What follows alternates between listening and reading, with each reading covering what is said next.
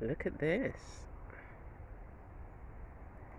Hey guys, it's Amanda here, the creative gardener, and today's video I want to show you some natural archways. Now, looking at this um, at the moment, it doesn't necessarily look like an archway, but that's what I'm working on. So this particular tree is called the clammy cherry tree, and it actually does grow really tall. Um, it branches out and I'll show you an area where it's done so if you come with me. Ooh. okay so what it does is, is form like canopies. Um, it grows the branches as you can see grow really long and tall and if you allow them they grow really thick and they just provide um, a natural canopy. And at one point this whole area um, was covered with the clammy cherry tree and um, I got my son to cut it back just so that the papaya trees here and the plants here could get some natural sunlight because it was actually really shady over in this part.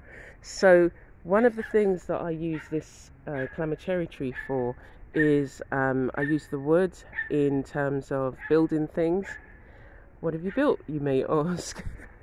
I'm in the process of I'm building a um, like a mini arbor. I'm just experimenting, but it's reusing. I mean, this this particular tree is the um, uh, moringa but on either side you've got this clammy cherry tree. So I'm, I'm trying to create areas of the garden that have kind of like a an archway effect, that kind of secret garden. Oh my goodness, what's through there? And you can see one kind of forming just here on the other side there. And um, let's walk through. I have to be careful about these. Um, I've got quite a few different varieties of spider in the garden and uh, yeah so this area which I just need to do some more work on my um, composter the wood rotted which was unfortunate and uh, fell off. So I'm going to see how I can utilize this in another way. Um, it's actually full of composted material and some ones that haven't broken down yet but hey. Anyway so creating natural um, archways with the um, trees themselves. And I can't remember I keep I always forget the name of this particular tree but it has an orange orange blossom. The leaves have an orange blossom um, kind of orangey aroma to them. So this particular area when it rains it um, the water from both neighbours gushes down here. So I'm limited to what I can actually in terms of plants put here what I've put here so far is the broadleaf thyme and they seem to be doing well and we've got Mexican sunflower grown at the at the back there. So I'm thinking those two plants seem to be doing well um, and uh, yeah there's there's not a lot I can do in terms of the the water that runs down. I was going to try and build a dam but then you don't want a load of water to be pooled here. Um, anyway, so you can see the um, cherry tree here and this orange blossom tree here. It's not an orange blossom, yeah, but the uh, clammy cherry has gone all the way up. I Don't know how far you can see it going up. And um, I had one here. I've still got one here, and it grew all the way up, and it was coming over here so um, here's another look I like the look of this. I love it. Um, so we've got the plants growing up either side but let me show you a proper kind of archway in progress. Okay so here's one I'm encouraging. This is my um, pomegranate tree and I do need to I feel I do need to clip it back. It's grown exceptionally bushy um, I'm amazed. But what I want to do is just cut it down sort of like just chop off a little bit at the top. But keep this so this one is growing over so I like that um, feel. And um, yeah we'll just I'm just going to see how it goes. All I've been doing is just clipping any excess around here obviously not with the fruit as they haven't yet um, ripened. But again, I like this feel. Let's see it from see it from the other side. um,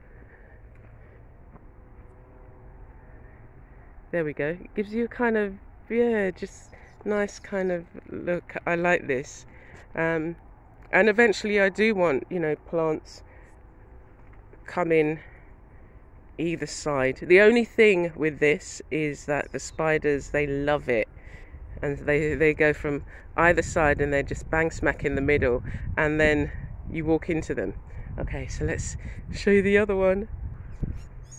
This this one is my favourite one so far. Should we come? What side should we come? We'll come from this side first and then I'll show you the other side. Look at this. well, it's not necessarily an archway, but the trees are growing up high. Well, it is. I'm going to call it that. Anyway, so I've got another clammy cherry tree here.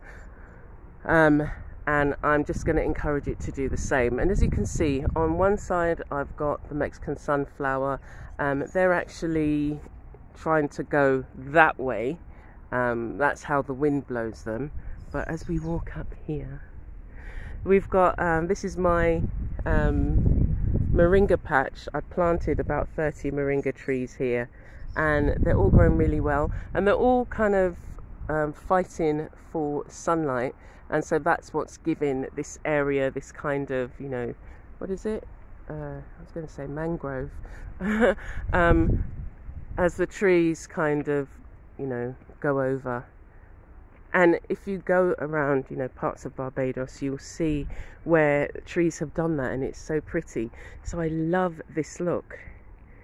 It just, it's, it's a feeling it gives me being here and, you know, seeing all this greenery.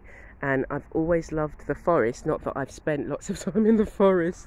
As a child, I went to the um, Epping Forest and I think that's what really made me feel um, akin, akin to the forest life. Um, but I love nature, I do. And then I went camping and um, in Ireland, and that was we had a lovely time. Lots of horses. Yeah, we did some horse riding. It was amazing. But I like this as I look up. You know the trees overhead, and these are edible moringa again my food forest idea the Mexican sunflower provides uh, the fertilizer for the soil and I can you know reach up and take a nibble of the leaves I use the leaves in tea in cooking I eat it um, just like as a salad as well or I lightly steam it it's got a strong taste when you eat it raw but if you lightly steam it that kind of goes um, I put it in um, bakes. For those of you who know what a bake is, um, it's just uh, flour. Uh, the way I make mine is flour, a little bit of sugar. Come here, come here.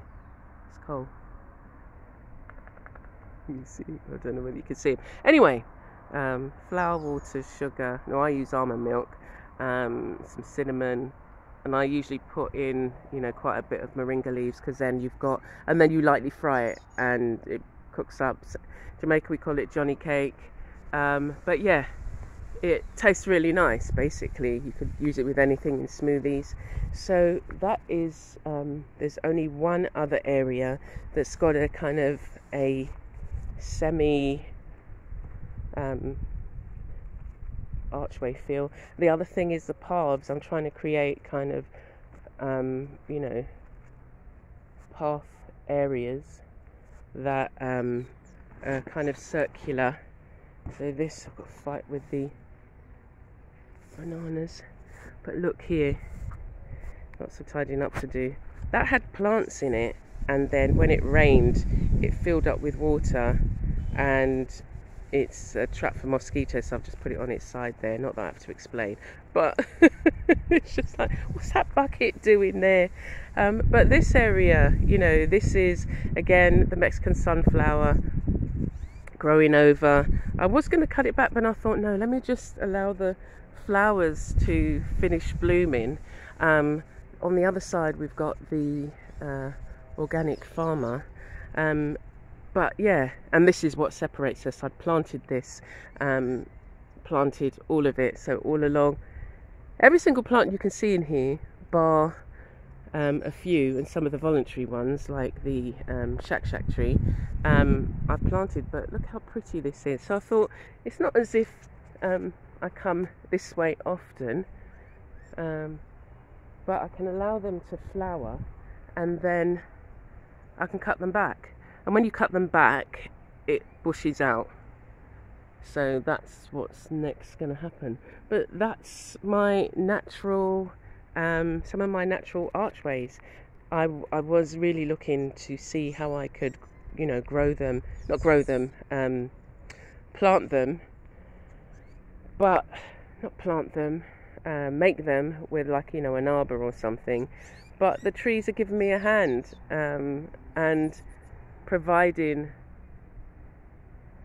uh, just growing as tall as I need to. Anyway, so I just wanted to share that with you, and um, I wish you well in your gardening. If you've got any questions or want to know more, then just drop a uh, comment um, down below and um, let me know how you're getting on in your garden. Take care for now, and I'll see you soon.